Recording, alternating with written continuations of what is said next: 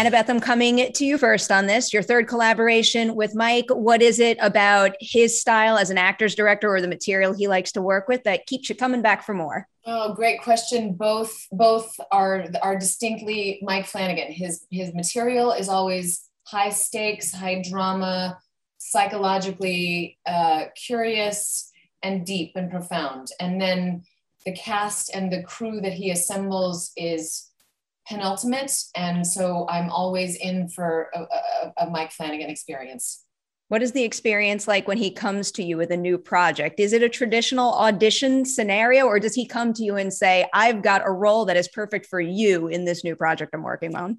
Uh, well, because I have done this is my third project with him, um, I think, or fourth, I can't remember.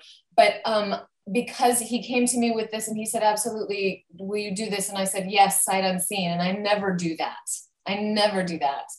But I I just know his depth and his um, so so yes. So he came to me with Dr. Sarah Gunning and I said yes. I have to follow up on that. So you read the script for the first time after committing to it blindly. What what was the the most exciting part of the character on first oh, read for you? Gosh, for for me, uh, uh, it was first the trauma of having to memorize erythropoietic protoporphyria and having to say it.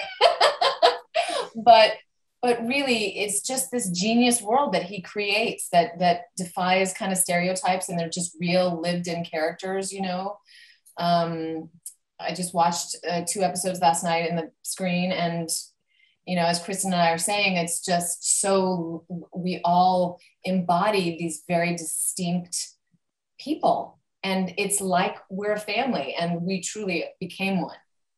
All right kristin. So clearly a whole bunch of Flanagan regulars, I guess, what is it, the Flanaverse? I think that's what people are calling it. a whole bunch of frequent collaborators are back in the mix. You are new to the mix now. What is something about stepping onto a set with a whole bunch of people who have worked together already that maybe made it feel like a well oiled machine or just really struck you, enhanced the way that you like to work?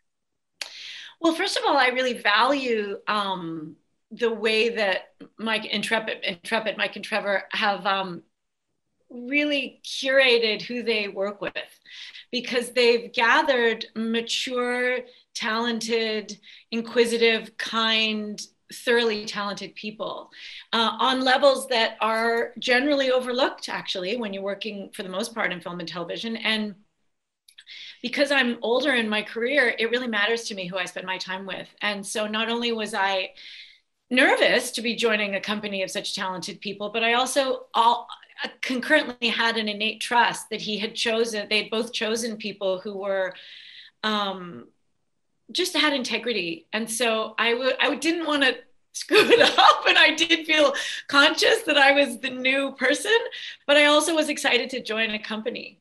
What, what is a what's an example of a quality in that respect that you think is overlooked that you wish you saw more sets out there?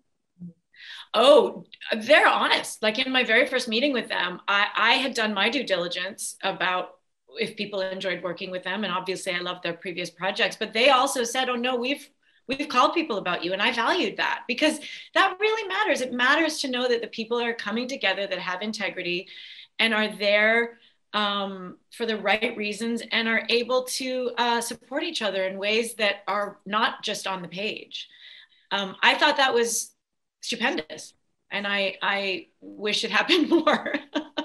All right, I'm going to start to teeter into spoilers a little. Don't worry, we're going to put a big warning up and not release this until after the show comes out. But one thing I feel like doesn't get enough credit, we don't talk about often enough, is the value of a good reaction shot. And Kristin, basically, every time you're sitting in the church listening to a sermon, your reaction shots are telling me something about the experience that your character is having. So while you are working on this particular project, do you feel the weight of those reaction shots more than on other things you've worked on?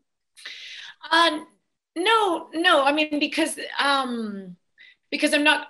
I don't think any of us were compartmentalizing it that way. We were there honestly uh, embodying the experience. So the church experience was exactly the same as any other scene. We were as invested in the way um, Father Paul was affecting the community as we were in any other shot. Uh, so I didn't I didn't find it um, separate from my whole the whole experience that I had. But I'm glad that they're that that clearly they're doing their job.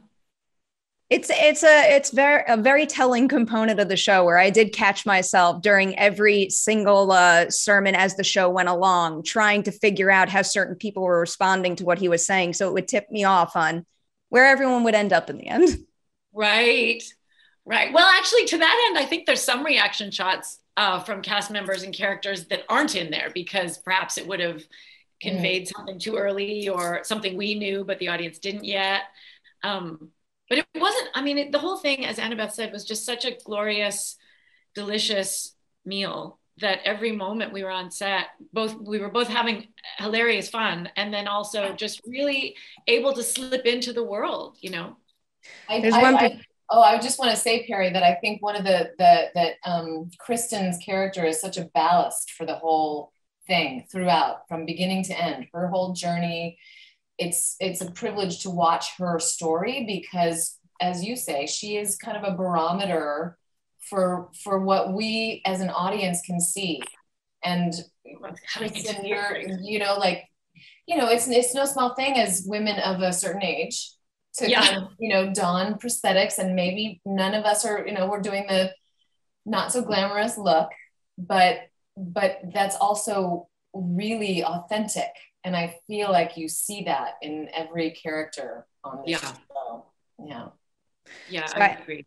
I have to ask you both about that i guess that last ish scene in the church in episode 7 is that as chaotic for you filming it as it is for us as viewers watching it yes it was I mean, it was well, it was well orchestrated chaos, but it was, it was for sure, it was for sure chaos. And it was, I remember too at the time, um, you know, because it was the midnight massacre. Since you're not, this will be a not, you know, no spoiler.